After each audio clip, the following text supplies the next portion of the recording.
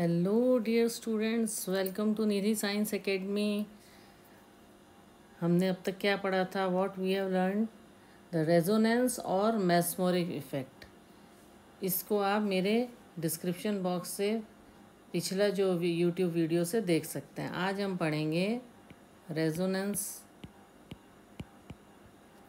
stabilization energy resonance stabilization energy. इसको resonance stabilization energy बोलते हैं। Resonance energy we can say और D localisation energy बोलते हैं। जो रेजोनेंस हाइब्रिड होता है, वो हमेशा ज़्यादा स्टेबल होता है दूसरी कैनोनिकल फॉर्म से। ठीक है? ठीक है the stability of resonance hybrid attributed to resonance energy ठीक है? अब इसके कुछ करेक्टरिस्टिक फीचर्स हैं। क्या हैं? Characteristic feature of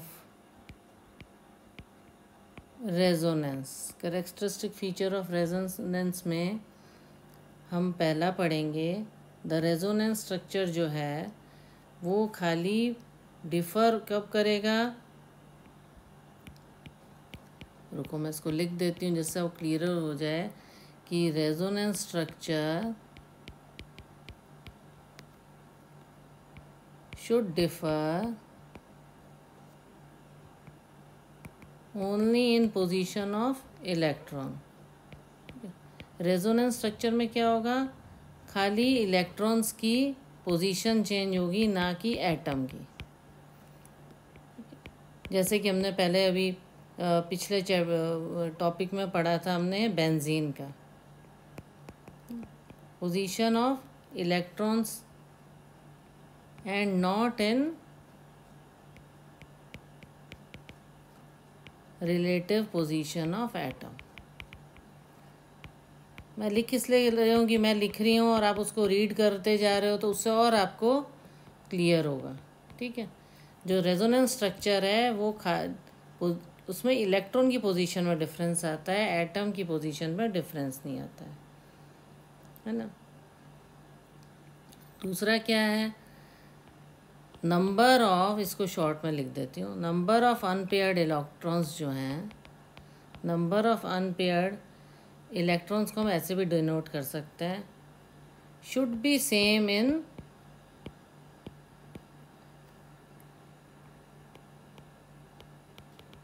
जो भी कैनोनिकल फॉर्म्स हैं, है ना? जैसे दो और फॉर्म्स बनती हैं। फिर रेजोनेंस हाइब्रिड बनता है। तो जितनी कैनोनिकल्स फॉर्म है, उसमें जो है अनपेयर्ड इलेक्ट्रॉन्स का जो नंबर है, वो सेम होना चाहिए। ओके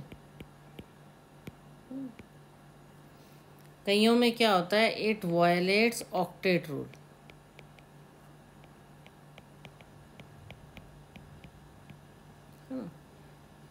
तो जो वायलेट करते हैं ऑक्टेट रूल को, उनको हम रेजोनेटिंग स्ट्रक्चर नहीं मानते।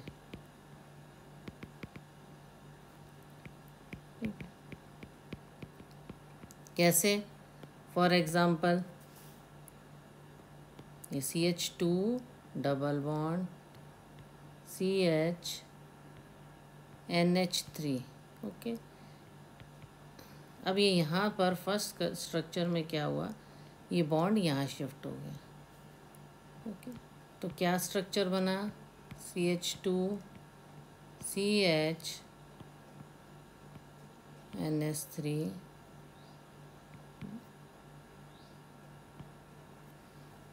तो इसमें क्या हुआ? सेम नहीं रहा अनपेयर्ड इलेक्ट्रॉन यहाँ पे अनपेयर्ड इलेक्ट्रॉन नहीं था और सेकंड फॉर्म में यहाँ पर अनपेयर्ड इलेक्ट्रॉन आ गया। तो सेकंड स्ट्रक्चर क्या होगा? The second structure violates octet rule ठीक है? अब जैसे मान लो यहाँ यहाँ छोटा सा एग्जांपल देती हूँ। यहाँ जो सी एस टू है, ये देखो, ये एक एच के साथ शेयर हुआ, ये एक एच के साथ शेयर हुआ, ओके? और ठीक है, ये सी लुइस स्ट्रक्चर बना रहे हैं हम। और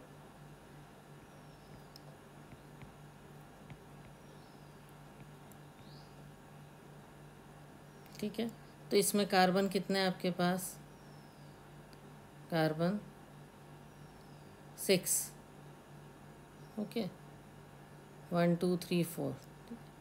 पर जब ये यहाँ शिफ्ट हुआ, यहाँ पे अनपेयर्ड नहीं है क्योंकि ऑक्टेट में कितने रहता है? कार्बन कौन से नंबर पर आता है? Hydrogen, helium, lithium, beryllium, boron, carbon.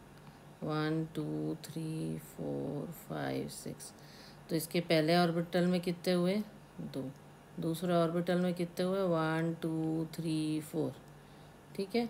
Outer octet में इतने हैं, यहाँ पर इतने ही हैं। वन टू थ्री फोर तो यहाँ तो ठीक है, पर जब दूसरा स्ट्रक्चर बनेगा, ये वाला यहाँ पे, जब ये बॉन्ड शिफ्ट हो गया तो क्या हुआ? सी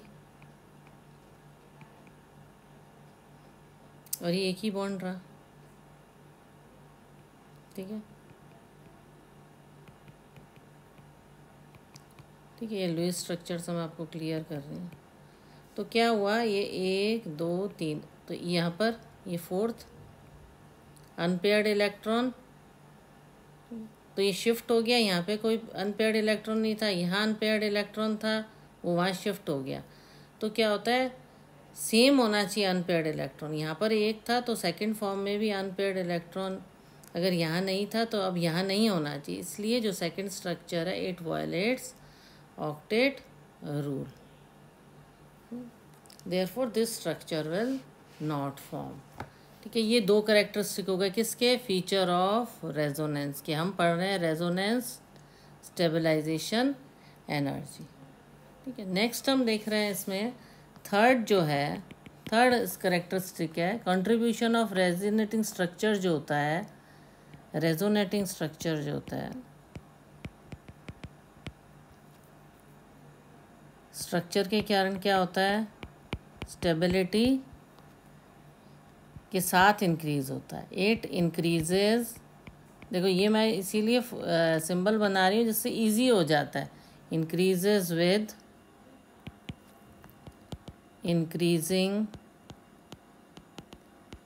stability stability जैसे जैसे इंक्रीज होएगी रेजोनेटिंग स्ट्रक्चर भी इंक्रीज होगा। है ना?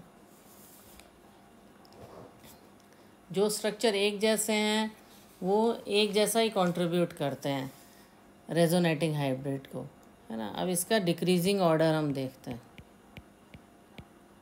Decreasing order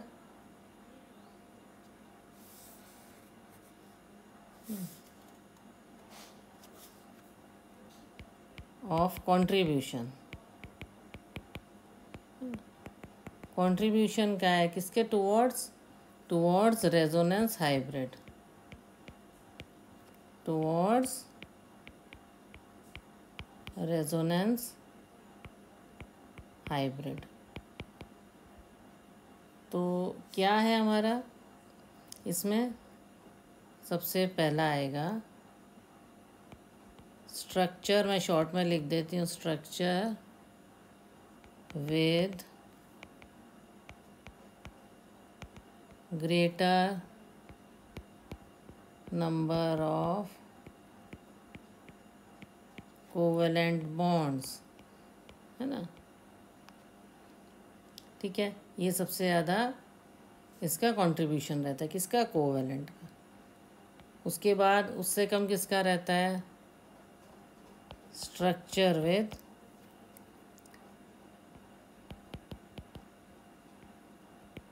डीलोकलाइजेशन लिख इस ले रही हूँ कि जो बोल रही हूँ आपको क्लियर है। डीलोकलाइजेशन ऑफ़ चार्ज है ना? चार्ज इधर से उधर डीलोकेट होता है। उसके बाद थर्ड नंबर पे कौन सा आएगा?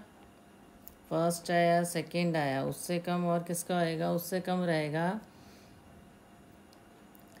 Structure with symmetrical charge structure with मतलब बराबर बराबर बट गए चार्जेस जिसमें सिमेट्रिकल चार्ज सेपरेशन स्ट्रक्चर जिनका सिमेट्रिकल चार्ज सेपरेशन है। ठीक है। फिर उससे कम किसका कंट्रीब्यूशन रहेगा? Resonance structure with non symmetrical charge सबसे कम किसका रहेगा? Structure with non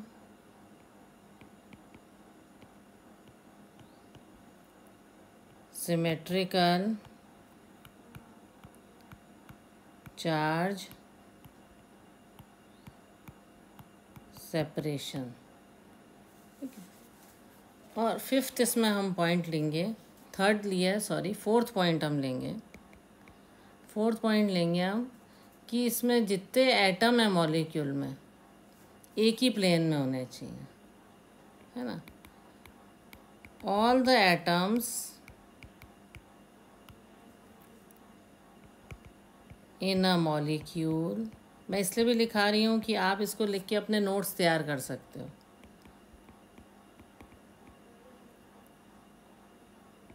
taking part in resonance में जितने मॉलिक्यूल्स पार्टिसिपेट कर रहे हैं, वो एक ही प्लेन पे हो जाता है। Resonance should be should be present in same plane. For example, इसका क्या एग्जांपल है? C H two double bond C H double bond C H two ठीक है? अब इसकी बॉन्डिंग की शिफ्टिंग होएगी। ये यहाँ। ठीक है? रेजोनेटिंग स्ट्रक्चर बन रहा है। तो फिर क्या बना इसका? सी एच टू शिफ्ट हो गया bond C H double bond C H C H two ये बीच में शिफ्ट हो गया। ठीक है? यहाँ से इसने बॉन्ड लिया, इधर आ गया। इस तरह से ये रेजोनेटिंग ये फ़र्स्ट स्ट्रक्चर हुआ रेजोनेटिंग ये दूसरा हो। तो हाइब्रिड क्या आएगा? हाइब्रिड स्ट्रक्चर इसका। हाइब्रिड रेजोनेंस हाइब्रिड होगा इसका। C H two double bond C H double bond C H double bond C H two ये इसका रेजोनेंस रेजोनेंस हाइब्रिड होगा। ठीक है? तो इसमें फ़र्स्ट और सेकंड जो हमने बताए थे वो कैनोनिकल स्ट्रक्चर थे। फ़र्स्ट एंड सेकंड क्या थे? They were canonical structure okay the first structure ज़्यादा स्टेबल था presence of maximum number of covalent bond और सेकंड स्ट्रक्चर लेस स्टेबल था ड्यू टू चार्ज सेपरेशन तो स्ट्रक्चर फ़र्स्ट ज़्यादा contribute कर रहा है। है ना? स्ट्रक्चर फ़र्स्ट ज़्यादा उसमें कंट्रीब्यूट कर रहा है। अच्छा इसको एक और एग्जांपल से समझाते हैं।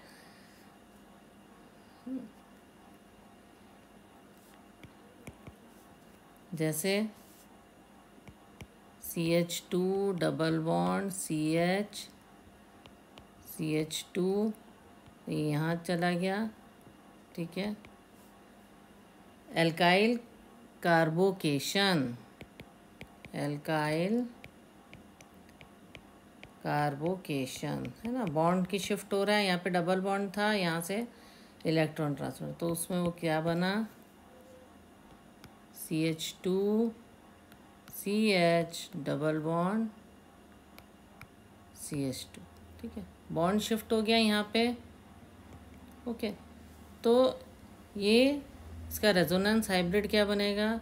C H two double bond C H double bond. C H two